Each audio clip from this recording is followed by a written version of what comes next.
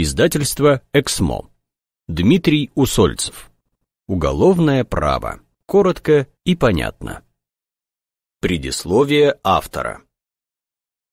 Уголовное право – это бриллиант в короне законодательства.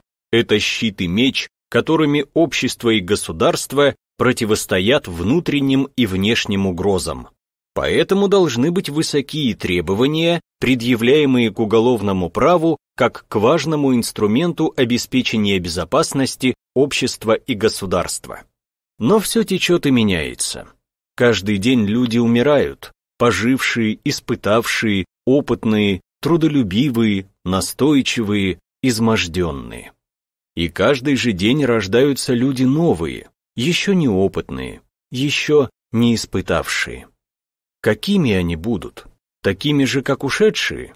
Или более богооставленными, более равнодушными, более циничными, быстрее деградирующими? Какую государственность, какое уголовное право они получат в руки от своих отцов и как всем этим распорядятся? Соответствует ли существующая система воспитания и образования сложности стоящих перед ними задач? Чего в итоге в обществе будет больше? Разбазаривание и вырождение или созидание и сплоченности? Поэтому столь важны требования, предъявляемые к учебникам по уголовному праву. Ибо эти учебники призваны не просто механически внести в молодого читателя ворох какой-то там информации. Отнюдь нет. Эти учебники призваны прежде всего создать в читателе некую почти мировоззренческую основу, на поле которой и будет в дальнейшем происходить все остальное, от понимания уголовного права до формирования читателем дальнейшей социальной действительности. Аудиокнига, которую вы включили, задумывалась как книга, которую не противно слушать, смыслы которой не имеют железобетонной упаковки. В детстве я часто задавался вопросом, для чего пишутся учебники.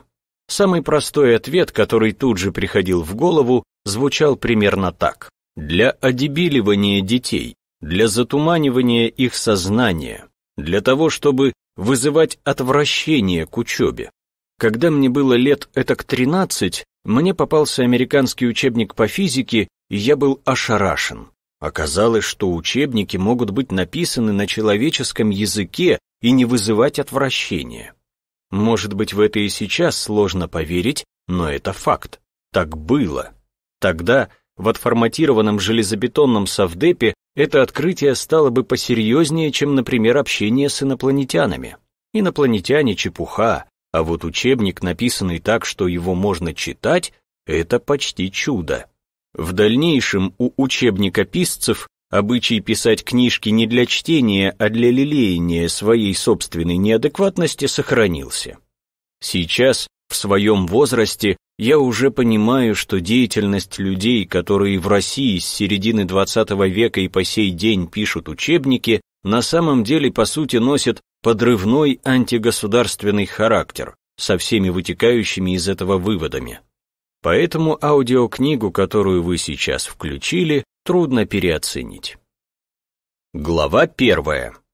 Введение в параллельный мир права и закона. Первое. Вы не будете понимать того, что написано в такой книжке, как Уголовный кодекс, без точного и полного понимания ряда вроде бы простых слов, понятий, которые в этом кодексе написаны. Что это за такие понятия? Вот они. Общественные отношения и право, преступление и состав преступления, ответственность и наказание. При этом важно понимать одну странную, но важную вещь. Все эти понятия правовые, юридические. То есть в данном случае они обозначают не то, что вы думаете, не то, к чему вы привыкли, не то, что вроде бы очевидно. Они обозначают совсем другое. Да, одни и те же слова могут нести две разные смысловые нагрузки. С одной стороны, они имеют привычное для нас повседневное значение, бывает, что достаточно широкое, а с другой эти же самые слова выступают в роли терминов, правовых понятий.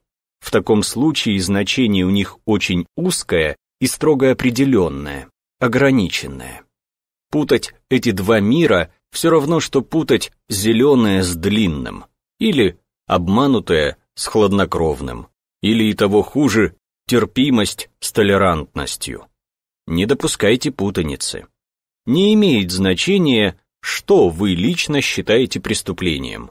Это никого не интересует. Важно только то, что считается преступлением по Уголовному кодексу. Конечно, чтобы разобраться со значением ранее перечисленных понятий, сначала стоит понять значение более простых, основательных, фундаментальных правовых терминов.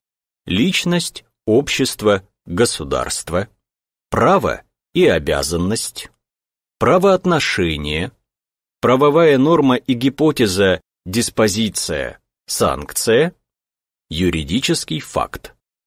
Какой смысл в просмотре фильмов Ларса фон Триера, если вы ничего не знаете о Бертолуччи и Висконти? Или зачем смотреть все эти современные одноразовые игрушечные фильмы о Великой Отечественной войне, не просмотрев хотя бы 17 мгновений весны?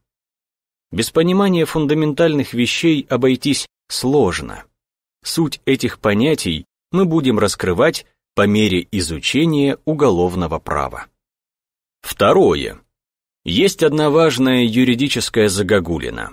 Надо уметь читать закон. Важно понять это странное для неюристов словосочетание. Надо уметь читать закон.